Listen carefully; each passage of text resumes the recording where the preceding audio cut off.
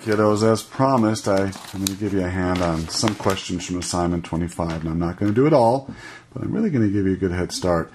I mentioned in the last video I would try to fit it in that last video, but I went a bit long, so this comes obviously as a separate video. We'll call it a bonus video, maybe a like bonus material on a DVD or Blu-ray that you buy. This is bonus material today, extra stuff, and I, you know, this is how I feel about it. I'm not going to charge you a penny for this. It's free of charge. So this homework, this homework help, kiddos. Put your wallets away. Don't bring me any checks. Don't bring me any money. Just leave it at home. This bad boy is on the house. So here we go. For assignment 25, you have 10 equations that I just ask you to balance. Now, I'm really nice to you because I give you the formulas for that equation. Pretty soon I'm going to give you the names of the elements and compounds, and you're going to have to write the formulas yourself. So maybe as I go through this, I'll read it as it might be, or as it would be, excuse me, had I given you the names instead of the formula. So this would be iron reacts with oxygen gas to form iron 3 oxide. So, how are we going to balance this?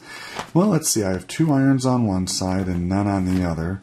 Three oxygens over here and two over there. Ooh, this one doesn't look very pretty. This might take a little work, and that's why I always encourage my students use a pencil until you get really good at this. I'll, I'll show you why. You're going to end up scratching things out, and it, it just gets ugly and confusing. It's nice if you get to a point where nothing seems to be working, just erase all the coefficients and just start from ground zero.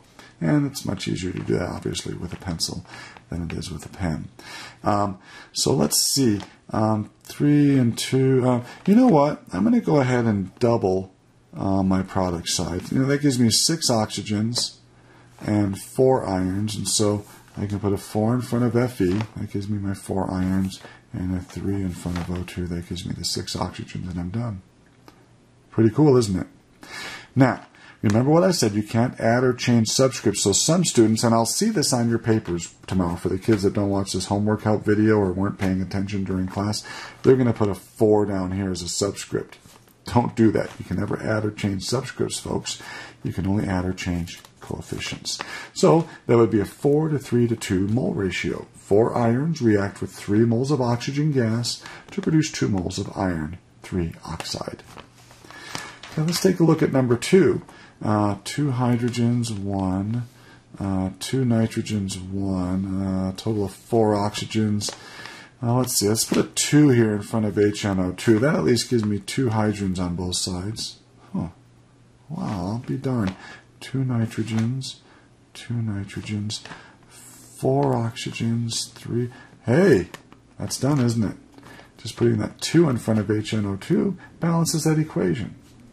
Let me give you another little hint here. If your coefficients started getting up in the double digits, you know, at this point, you're probably doing it wrong. Now, I'm not saying you can't balance uh, with coefficients that are, you know, 13 or 14 or 15. You definitely can, but, you know, just starting out, I'm not going to give you something that ugly. So if you start getting pretty big coefficients, you might want to stop, erase, and just start over again. Okay? Let's take a look at number three. Uh, iron, one and three, two hydrogens, two hydrogens, four oxygens, and four oxygens. Huh. Uh, okay, well, the irons are easy to fix. Just put a 3 there. That gives me 3 irons on both sides. And I need 4 oxygens on the left side, so let's put a 4 in front of H2O.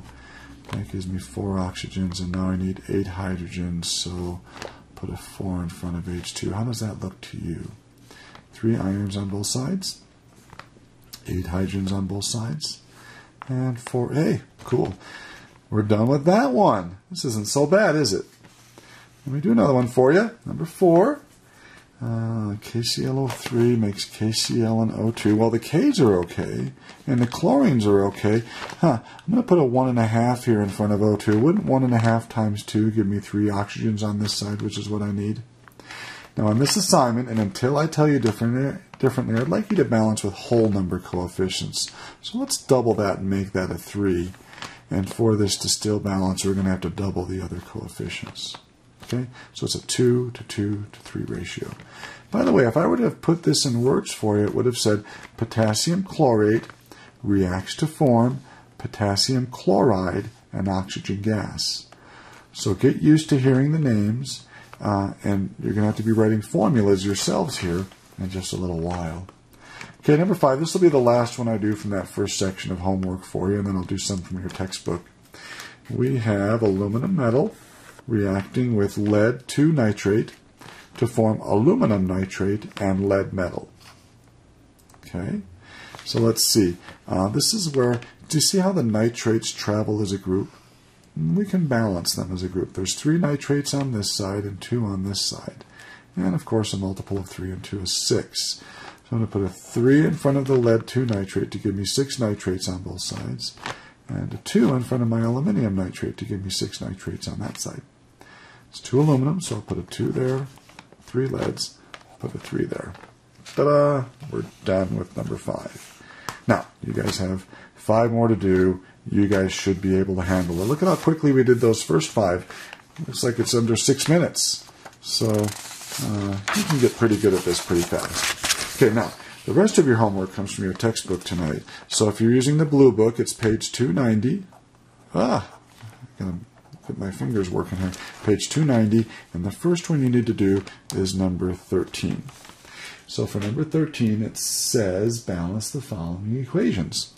And letter A is H2 and Cl2 make HCl. Now, if I were to put this in words, I'd say hydrogen gas reacts with chlorine gas to form hydrogen chloride.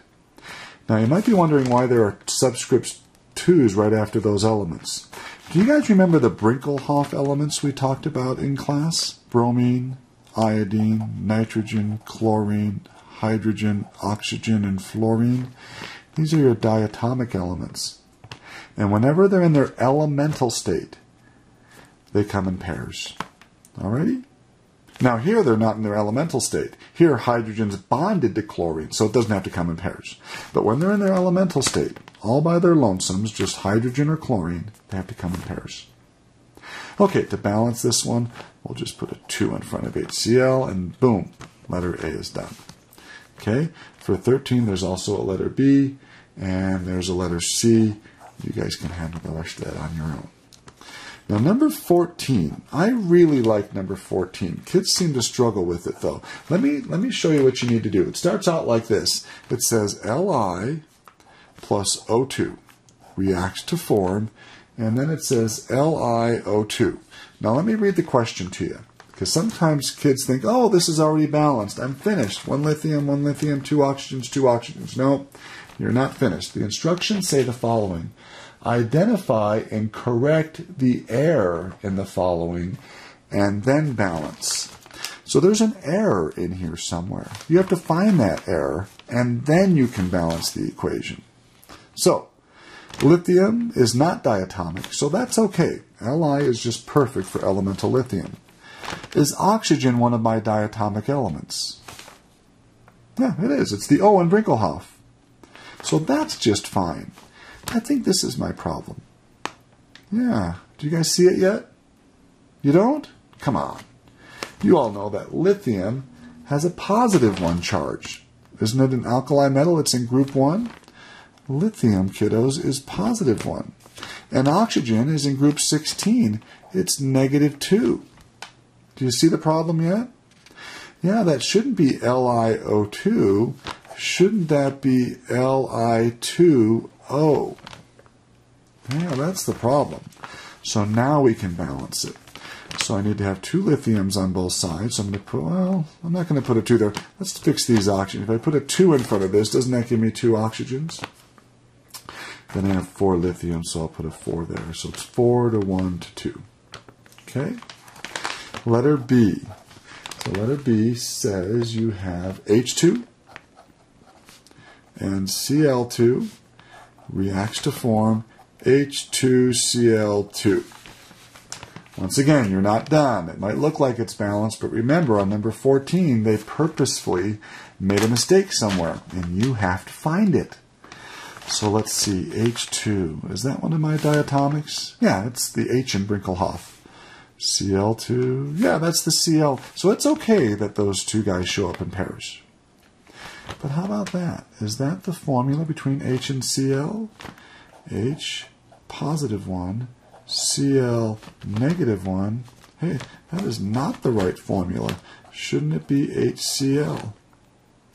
Then the balance it, we'll just put a 2 in front of that, and we're done. Okay? Now, in number 14, there's also a C and a D. I'm not going to help you with those. You guys can do it yourself. I know you can.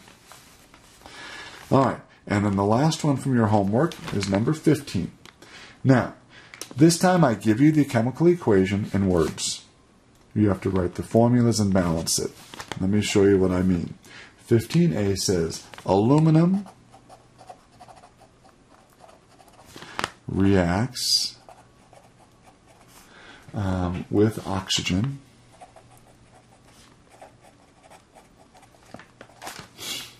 um, to produce aluminum oxide. Okay, so there it is in words. You have to write out the equation and then balance it. So let's see if we can do this together. What's the formula for aluminum? Good job. It's Al. Is that diatomic? Is it one of these seven guys up here? Nope. So I don't need to put a 2 after it. It's just fine. Al. Reacts with, so plus, oxygen. Is oxygen just O? Is that elemental oxygen or is it one of my Brinkelhoffs? Yeah, it's the O in Brinkelhoff, so it's O2 kiddos, not just O. To produce, now that's the same as to form, aluminum oxide. Now some of you folks are going to put ALO. Stop it. Come on, learn how to write formulas. Aluminum is in group 13. It's 3 plus. Oxygen is in group 16. It's 2 negative. So what's the formula between aluminum and oxygen? Well, 3 plus and 2 negative. Doesn't it have 6 as a multiple? So Al2, that gives me 6 positives. O3, that gives me 6 negatives. Hey, ta-da! I've written the formula. The equation's almost finished. I need to balance it now. So two aluminums, one aluminum, three oxygens. Okay, let's do this. I'm going to put a 2 in front of Al2O3 to give me 6 oxygens. Okay, put a 3 in front of O2 to give me 6 oxygens, and a 4 in front of Al to give me 4 aluminums. That's balanced. Okay, now on 15 there's also a B and C.